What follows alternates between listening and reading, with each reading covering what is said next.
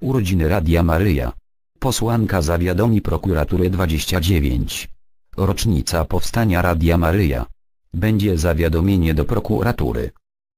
Posłanka lewicy Joanna Scheuring-Wielgus poinformowała, że w związku z nieprzestrzeganiem obostrzeń podczas obchodów 29 rocznicy powstania Radia Maryja, które odbyły się w toruńskim kościele, złoży zawiadomienie do prokuratury.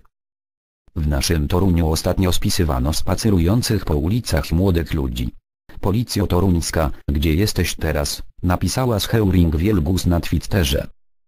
Posłanka lewicy opublikowała również fotografię z sanktuarium NMP Gwiazdy Nowej Ewangelizacji i Świętego Jana Pawła II w Toruniu, gdzie odbyła się msza z okazji 29. rocznicy powstania Radia Maryja. W uroczystościach udział wzięli m.in. Minister Sprawiedliwości Zbigniew Ziobro, wiceminister Michał Woś, szef resortu obrony Mariusz Błaszczak oraz prezydencki minister Adam Kwiatkowski. Ze względu na epidemię koronawirusa w polskich kościołach obowiązuje obecnie limit osób, maksymalnie jedna osoba na 15 metrów kwadratowych, przy zachowaniu odległości nie mniejszej niż 1,5 metra i konieczności zakrywania nosa i ustęp. Maseczek nie muszą nosić jedynie osoby sprawujące kult.